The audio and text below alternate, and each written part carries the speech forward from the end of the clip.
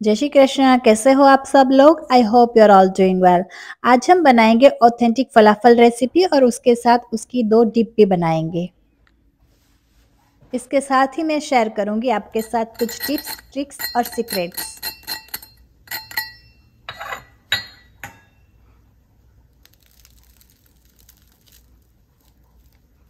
है ना बिल्कुल परफेक्ट फलाफल तो आइए इसके लिए पहले हम चटनी बना लें। स्पाइसी डिप बनाने के लिए मैंने यहाँ पर सूखी हुई लाल मिर्च को एक घंटे के लिए गर्म पानी में सोख किया था। यहाँ पर पानी उतना ही यूज़ करें जितनी मिर्ची को भिगोने के लिए ज़रूरत है। फिर ऐड करेंगे तीन लहसुन की कलिया और दो चम्मच शुगर पानी कम इसलिए डालेंगे ताकि हमारी चटनी गाढ़ी बने। फिर ऐड करेंगे स्वाद अनुसार नमक। और फिर हम एक मिक्सी में इसे पीस लेंगे। फिर एक कंटेनर में हम इसे निकाल लेंगे और फिर इसमें ऐड करेंगे दो नींबू का जूस ये चटनी बहुत ही इजीली और जल्दी बन जाती है। आप इसे किसी के भी साथ खा सकते हो। और ये फ्रिज में चार से पाँच दिनों के लिए बहुत ही अच्छी रहेगी। यहाँ पर हमारी फलाफल का एक डिप रेडी हो गया। अब हम दूसरा डिप बनाएँगे। उसके लिए एक बॉल में हम फ्रेश योगर्ट लेंगे, यानी कि ताज़ा दही। आप यहाँ पर ग्रीक योगर्ट का भी यूज़ कर सकते हो। ध्यान रखना, दही खट्टी नहीं होनी चाहिए। यहाँ पर मैंने तीन कड़छी दही लिया है। अब उसमें डालेंगे तहीनी। तहीनी को मैंने स्टोर से लाया है। ये बस एक तिल का पेस्ट है और जब आप इसकी पेस्ट बनाओ तो उसमें से ऑयल निकलता है। ये हम इसमें दो चम्मच डालेंगे।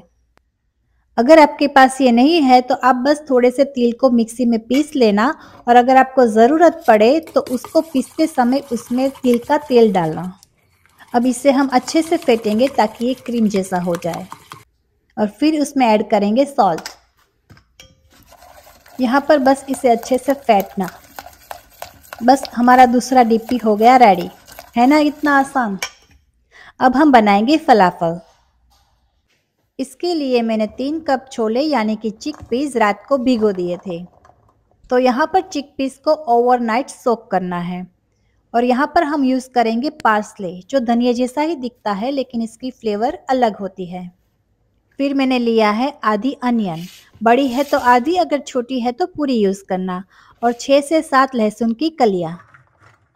अब हम एक अच्छे से फ़ूड प्रोसेसर में थोड़ा थोड़ा चिकपीस डालेंगे और इसे अच्छे से पीसेंगे। यहाँ पर ध्यान रखना, पानी का यूज़ नहीं करना है।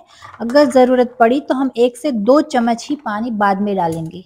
अगर ये बिना पानी के पीस रहा है तो हम इसमें पानी नहीं डालेंगे। फिर थोड़ी सी अनियन डालेंगे और थोड़ा सा पासले और गार्लिक।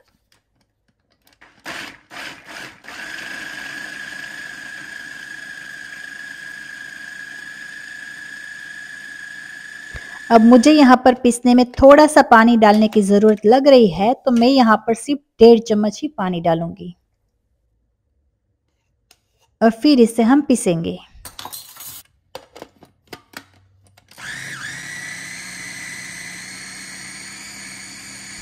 अगर बीच में ज़रूरत पड़े तो इसे एक दो बार चलाएँगे।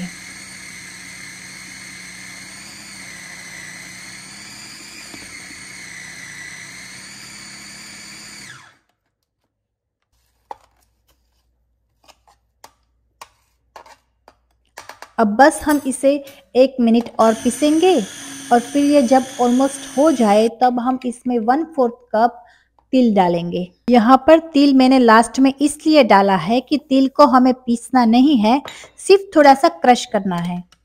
तो हम इसे थोड़ी ही देर चलाएँगे और फिर ये डन इसे हमें दरदरा ही पीसना है। इस तरह से तिल डालने से जब आप फलाफल को फ्राई करोगे तो फ्राई करते समय उसमें से तिल बाहर नहीं आएँगे, ना ही वो फूटेंगे। अब हम इसे एक बॉल में निकाल लेंगे।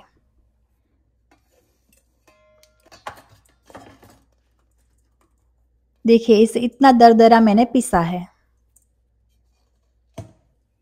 फिर हम थोड़े और चिक पीस को पीसेंगे। हम हर एक बेच में थोड़े से पासले थोड़े से गार्लिक और थोड़े से अनियन डालेंगे। ताकि इसकी पीसने में भी आसानी हो जाए। अब इस बेच में मैं सारा नमक डाल रही हूँ। स्वाद अनुसार नमक डाल देना। और इसको पीसते समय भी अगर आपको पानी की ज़रूरत लगे तो ही डालना। अदरवाइज़ उसमें पानी मत डालना।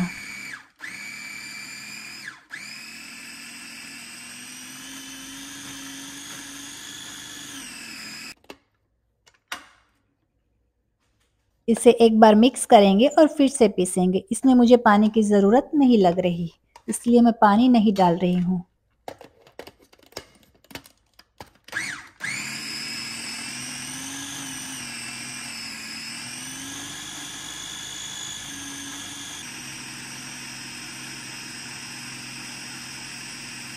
अब हमारे फलाफल का मिक्सर रेडी हो गया। अब हम उसमें लास्ट में डालेंगे काली मिर्च।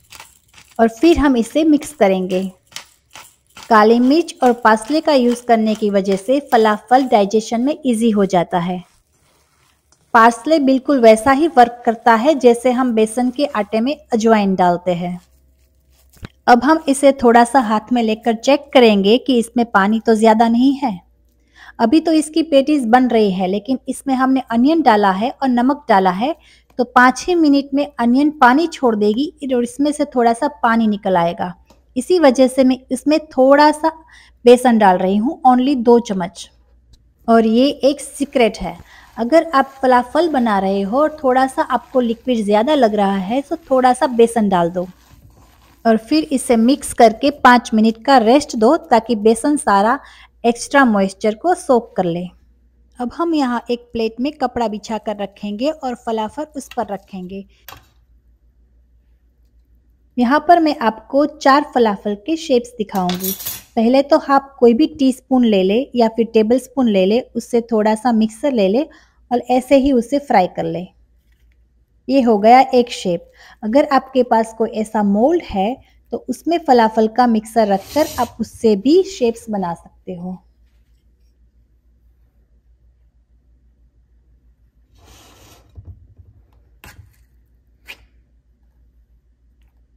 ये हो गया दूसरा शेप और अब हम बनाएँगे तीसरा शेप थोड़ा सा फलाफल का मिक्सर हाथ में लेंगे और फिर उसे साइड में से और ऊपर से थोड़ा सा हल्के हाथों से टैप कर कर हम उसकी पेटी जैसा बनाएँगे.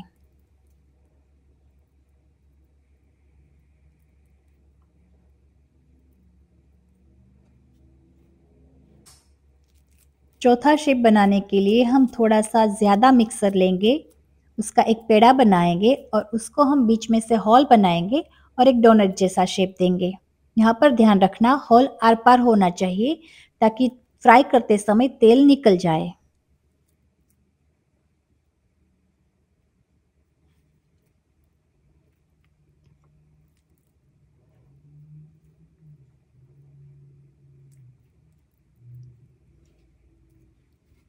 और अब हम यहाँ पर सारे फलाफल को राउंड शेप में बना लेंगे और उसे फ्राई करेंगे।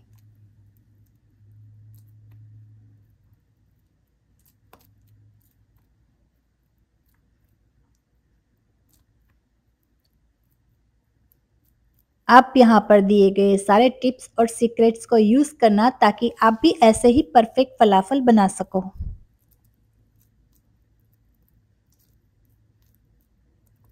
अब हमने दूसरी तरफ़ ऑयल को गर्म करने के लिए रख दिया है। हम ऑयल को अच्छे से गर्म करेंगे। और जब हम उसमें फलाफल डालें तो ऑयल बिल्कुल ही गर्म होना चाहिए और गैस की फ्लेम को हाई होना चाहिए। धीरे से फलाफल डालेंगे ताकि छीटे ना उड़े। और फिर फलाफल को उसमें डालने के बाद हम उसको बिल्कुल भी टच नहीं करेंगे जब तक कि उसमें हल्का सा ब्राउन कलर ना आ जाए। उसे हम ऐसे ही फ्राई होने देंगे। ये फलाफल एक बहुत ही अच्छी और प्रोटीन रिच रेसिपी है, जिसे आप बच्चों को भी दे सकते हो, बहुत ही हेल्दी है। उसके साथ साथ आप उसके लंच बॉक्स में भी पैक कर सकते हो, या फिर शाम के नाश्ते में भी खा सकते हो। अब यहाँ पर हल्का ब्राउन कलर हो गया है तो हम गैस की फ्लेम को हम स्लो करेंगे और इसे पलट देंगे और इसे अच्छे से पकने देंगे।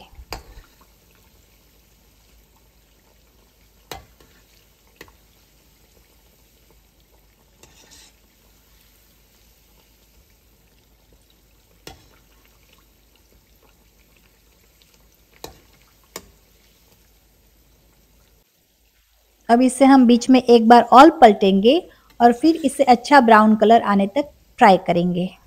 और अगर आपने मेरे चैनल को अब तक सब्सक्राइब नहीं किया है तो प्लीज़ उसे सब्सक्राइब कर लेना और बेल आइकॉन भी ऑन कर देना। देखिए, ऑयल में बिल्कुल भी तिल नहीं निकले हैं। अब हमारे फलाफल रेडी हो गए हैं। हम इसे निकाल लेंगे। अब हम बिल्कुल उसी तरह से सारे फलाफल को फ्राई कर लेंगे।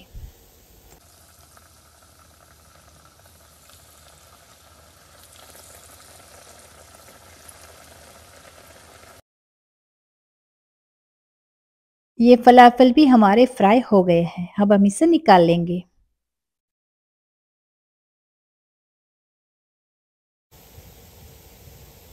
इसे आप हमारे बनाए हुए दोनों डिप के साथ सर्व कर सकते हैं। ये बहुत ही अच्छे लगते हैं। और अब हम बनाएँगे उसका रैप। इसके लिए हम यहाँ पर एक पीटा ब्रेड लेंगे। उस पर हमारा वाइट वाला डिप लगाएँगे, जिसमें हमने तहीनी डाली है। फिर उसमें फलाफल थोड़ा सा तोड़ के डालेंगे। यहाँ पर मैं दो फलाफल डाल रही हूँ। और फिर हमारी लाल वाली चटनी। इसे आप जितना भी डालना चाहो, डाल सकते हो, जितना भी स्पाइसी बनाना चाहो। और फिर डालेंगे थोड़ा सा सैलेड ऊपर से फिर से थोड़ी सी चटनी और हम इसका रेप बनाएँगे। आप इसे डिनर या लंच में एंजॉय कर सकते हो। अगर आपको मेरी ये रेसिपी अच्छी लगी है तो प्लीज़ वीडियो को लाइक शेयर और चैनल को सब्सक्राइब करना मत भूलना। Thank you